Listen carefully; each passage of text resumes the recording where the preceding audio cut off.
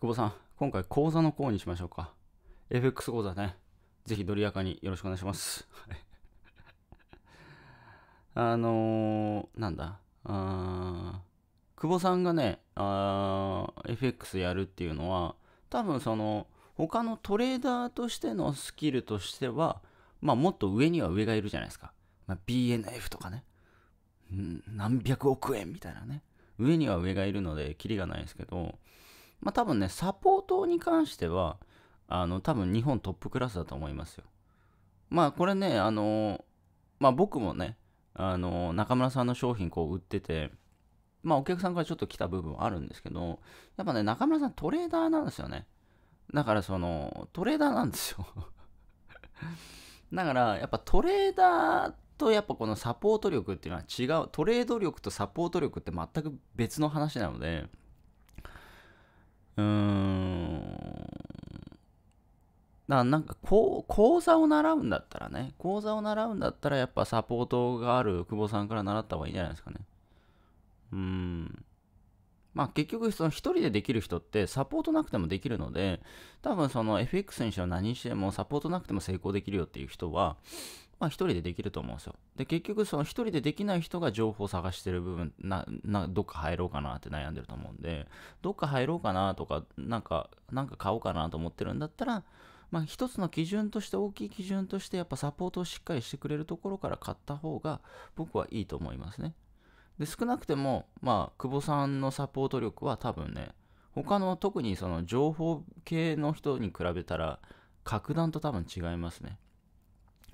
まあ僕もそうですけどね、僕も、あの、これね、ナミさんから言われましたけど、久保さんと吉谷さんは10年間変わらずそのサポートが早いみたいなね。まあ久保さんと吉谷さんぐらいですみたいな。こんだけ早いのはね。うん、まあ結構自信がありますね、僕もサポート力に関しては。だ僕も最初、サポートスタッフで入ってるんで、そもそも論として。前の会社はサポートスタッフで入ってますから、仕事がサポートだったんで。で、今もずっと発信してサポートしてるので、やっぱね、なんだろうな、発信力もそうなんだけど、サポート力はちょっと増えたかなと思いますね。うーん、そう。だから要は、あの、堀江さんがサポートできないところも僕は堀江、あの、堀江さんより結果は出してないけれども、堀江さんより間違いなくサポート力はある自信はあります。これ言い切りますけど。うん。久保さんもそうだと思いますし、堀江さんより結果はね、すごいそういう宇宙、ロケット飛ばすとかそういう結果はないけれども、サポート力は堀江さんよりあるっていうね、僕自信ありますから。うん。そう。だからまあ、あのー久保さんのね、FX 講座、いいんじゃないですかね。うん。そうドリアカもいいですけど、ドリアカも6月1日に販売するんで、アドバンスコースですけど。うん。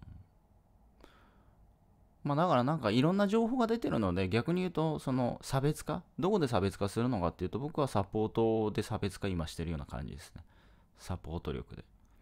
あと、サポート期間もドリアカも長いので、20年ですから、60歳までなんで、あんまりないかなっていう。うん、うまあ何か習うんだったら、講座を習うんだったら、サポートがしっかりしてるところから習った方がいいと思います。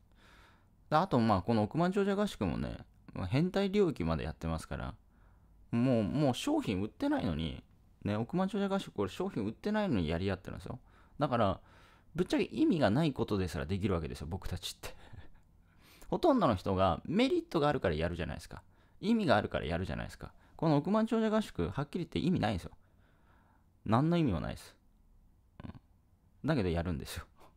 だ意味がないことはもちろんやる。意味がないこともできるし、意味があることもするし、メリットがあることもやるし、まあ、全部やります。でもそういう人って少ないと思うんで、うん。そう。まあ本当ね、多分ね、まあ僕が知ってる、まあ日本全国、世界調べてないんでわかんないですけども、このやりとりが本当にできるのは久保さんぐらいかなと思いますね。意味がないことを続けられるっていう。だってもう3年前ぐらいに億万長者終わってますからね、合宿、湯河原の。これ湯河原の億万長者合宿を売るために始めたんだけども、もう3年前に売って終わってんすよ。ね。まあ今最近見た人は分かんないかもしれないですけど、もう3年前にせせ3年前の合宿をセールスするために始めたこれリレーですから、そもそも。うん、もう4年前か。今令和4年ですからね。平成最後のあのあれにやったんで。平成最後のあそうだ。平成最後の5月終わりにやったかな。4月終わりだったかな。まあちょうどこの辺りですよね。4年ぐらい経つと思うんですけどね。もう終わってますから。何なんですかねこれはね。いってらっしゃい。